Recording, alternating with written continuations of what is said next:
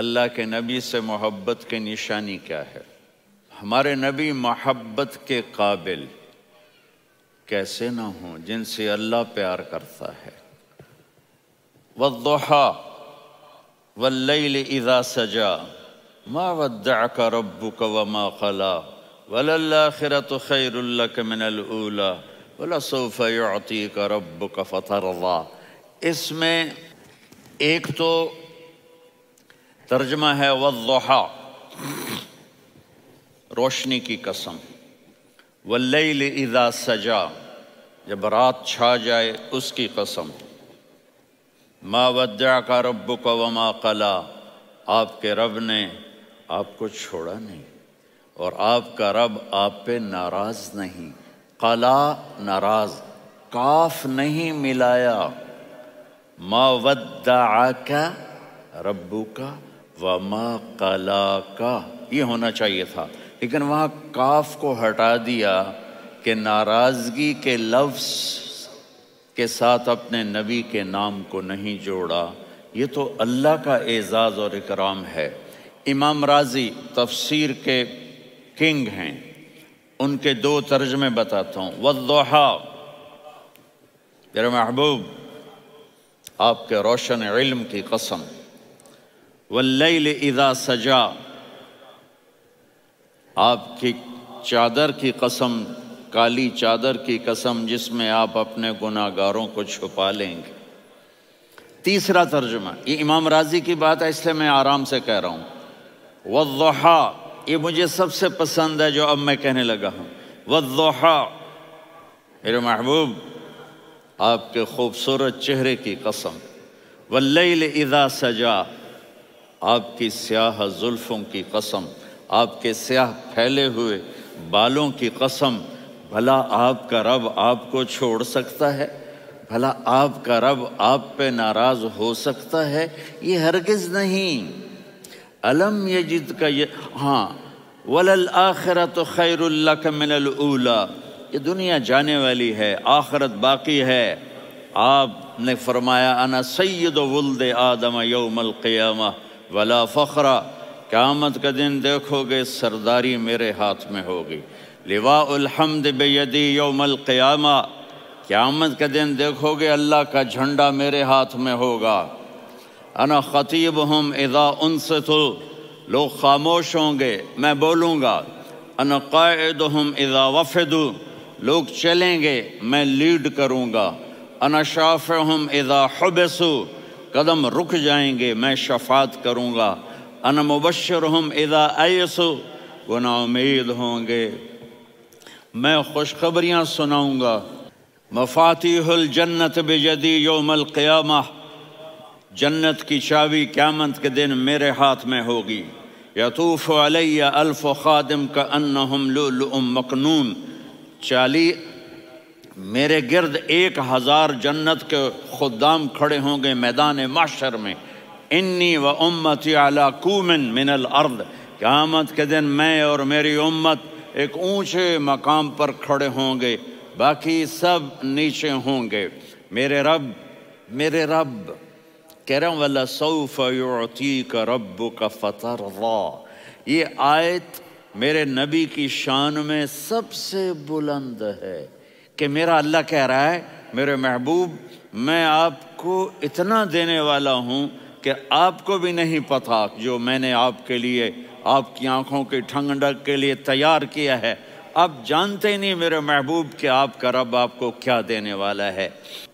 پیچھے یہ یہ صورت آئی کیوں؟ آپ پر وہی بند ہو گئی اور آپ اداس ہو گئے۔ اور قریش مکہ کہنے لگے وَدَّعَهُ رَبُّهُ وَقَلَا اس کا رب اس کو چھوڑ گیا، اس پہ ناراض ہو گیا۔ غیروں کی بات بری بھی بری لگتی ہے۔ اپنے کچھ کہہ دیں تو ایسا لگتا ہے جیسے خنجر لگ گیا۔ تو حضرت خدیجہ نے کہہ دیا، یا رسول اللہ اللہ ناراض تو نہیں؟ بس یہ سننا تھا کہ آپ کا دل مٹھی میں آ گیا۔ اور اسی وقت جبریل ہانپتے کانپتے آ گئے۔ وضحا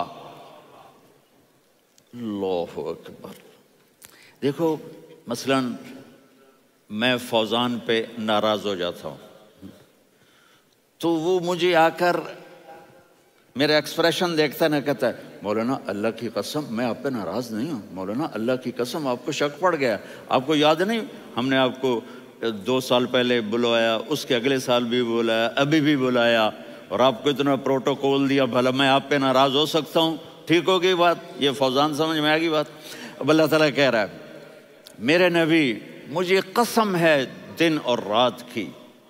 مجھے قسم ہے تیرے علم اور تیری چادر کی۔ مجھے قسم ہے تیرے چہرے، تیرے خوبصورت بالوں کی۔ میں نے تمہیں نہیں چھوڑا۔ کیسے؟ علم یجد کا یتیم منفع آوا آپ کو یاد نہیں؟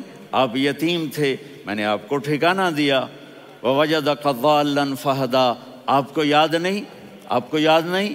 آپ میری تلاش میں تھے، میں نے آپ کو اپنا آپ بتا دیا۔ وجد کا فاغنا، آپ کو یاد نہیں کہ آپ بڑی تکلیف میں تھے اور کمی میں تھے تو میں نے خدیجہ سے آپ کی شادی کروا کے آپ کو مالدار بنا دیا۔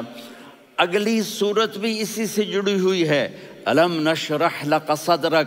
میں نے آپ کا سینہ کھولا۔ بھلا میں ناراض ہو سکتا ہوں۔ وضعنا عنک وزرک۔ میں نے آپ کے بوجھ ہٹائے۔ بھلا میں ناراض ہو سکتا ہوں۔ الذی انقض ظہرک۔ وہ بوجھ جنہوں نے آپ کو دوہرا کر دیا تھا۔ میں نے وہ بوجھ ہٹائے۔ بھلا میں آپ پہ ناراض ہو سکتا ہوں۔ ورفعنا لک ذکرک۔ اور میں نے آپ کے نام کو بلند کر دیا، بھلا میں آپ پہ ناراض ہو سکتا ہوں۔ انا آتینا کل کوثر ہم نے آپ کو جنت کی چابی پکڑا دی۔ بھلا میں آپ پہ ناراض ہو سکتا ہوں۔ پھر آگے اللہ نے نصیحت کی، فَأَمَّا الْيَتِيمَ فَلَا تَقْحَرْ وَأَمَّا السَّائِلَ فَلَا تَنْهَرْ، وَأَمَّا بِنِعْمَةِ رَبِّكَ فَحَدِّث۔ تو میرے محبوب، آپ یتیم تھے۔ کوئی یتیم آئے تو اب آپ نے اس کے ساتھ وہ کرنا جو میں نے کیا۔ میرے محبوب، آپ میری طلب میں تھے۔